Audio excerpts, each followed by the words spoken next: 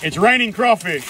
But why? Well, it all starts here where fresh caught crawfish enter a bath before the grader. It goes through the veggie grader, which you've all seen before, gives them a little wash, and sorts them all by size. This grader is unique because of the conveyor belt. Here they remove any dead crawfish. Next, they take a ride to a cliff, jump into a purge bath. After being washed even more, they take their final ride up another conveyor and are rained down into this blue container. This is the first step of how we get our fresh boiled crawfish to your door.